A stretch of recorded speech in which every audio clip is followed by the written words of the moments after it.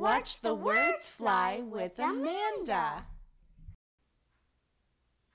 Hello, beautiful people, and welcome to Watch the Words Fly.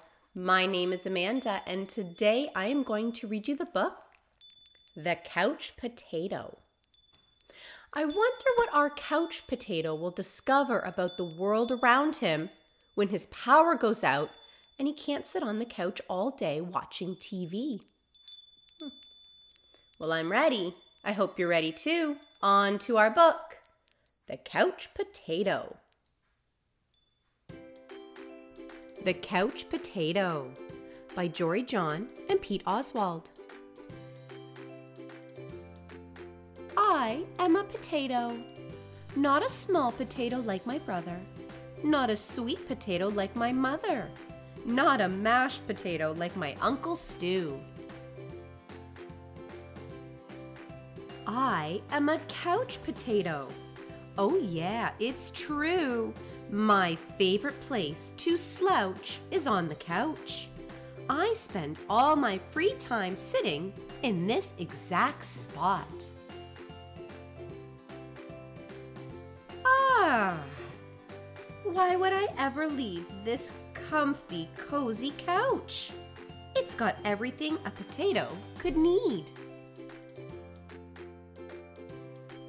See, I have this, and this, and this, and one of these, and those, and this, and that, and these. Oh, and this. Check it out. This button activates a gadget that fetches me snacks whenever I want. Bam! Impressed? And I don't have to move an inch. Much easier than going to the kitchen. If the most important thing in life is to be comfortable at all times, then I think I've got it all figured out. Ah. But wait, there's more. I haven't revealed the absolute best part about my whole setup. It's everything you see in front of me. Have a look around. Take it all in. Pretty spectacular, right? Yes, it's a sea of shimmering screens from wall to shining wall. What joy! What bliss! These screens feature my favorite shows. This screen has all my unanswered messages.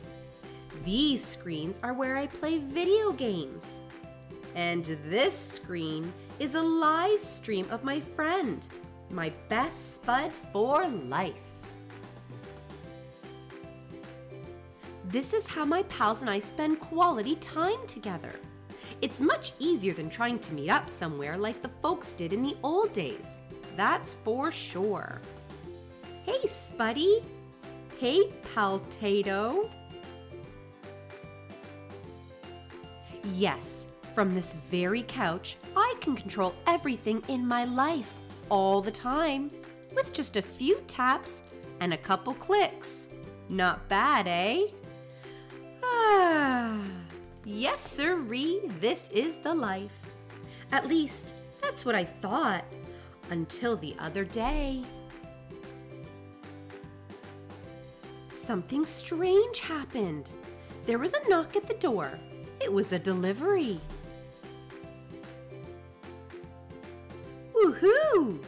Was my newest device, a video camera that would allow me to watch myself react while I was watching all my favorite shows. All I had to do was plug it in, and my room, nah, my kingdom would be complete. but suddenly, everything went dark. Look out! coming through. Whoops! Oof! Ow! Whomp! I made it to the window. I pulled back the curtains. The sun seemed brighter than I remembered. There was nothing better to do, so I decided to take my dog, Tater, for a walk. outside. It had been a while. Everything was so vivid, like a high resolution 156 inch curved screen, but even more realistic. Something smelled fresh. After a few moments, I realized that it was the air. I heard a noise, some chirps, a ringtone perhaps? But no, I looked up to see some birds.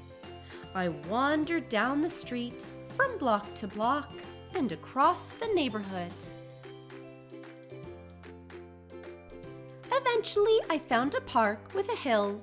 There was a massive tree on top. It looked like a desktop background, only it was real.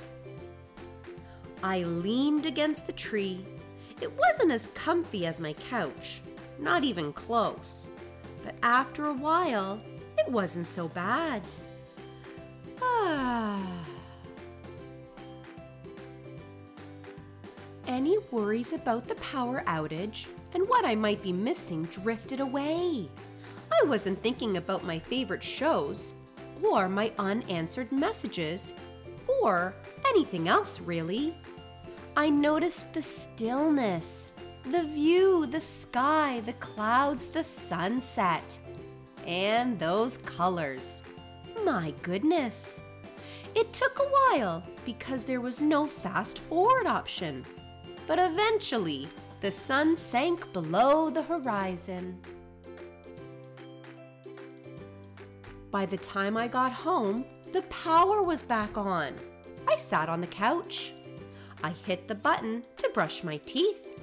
I pulled the lever to change into my pajamas. I turned the knob to watch a bedtime story. Then I noticed my reflection in one of the screens. I wondered how much of my life had been spent in that very spot. It was then and there that I made the decision to peel myself off the couch a bit more often. Maybe every day, even. And so that's what I've done. I've started hanging out with my friends, my best buddies, outside. We've started biking and hiking and swimming and hiding and seeking. Sometimes we have snacks and play board games. Sometimes we talk all day. We might watch the clouds. There's no big plan. We just see what happens. It makes me wonder what if I don't always need to be totally comfortable? What if I'm happier when I have a better balance between my gadgets and the world outside? Because it turns out that I'm more than just a couch potato. I'm an amusing potato. I'm a smart potato. I'm a kind potato. I'm an entertaining potato. And I'm a sit on a hill and watch the sunset potato. Yes, there's a great big world out there, and I want to be part of it in person. But don't get me wrong, at the end of a long day, after I've run and played and talked and laughed with my friends, I still think it's awfully nice to slouch on the couch. I love that while he was exploring, he found that big tree on top of the hill, sat down, and really enjoyed what nature had to offer. Sounds like a great day to me. Well, it's been a pleasure hanging out with you. Thank you for letting me read to you, and hopefully, I will get to see you again soon. Bye.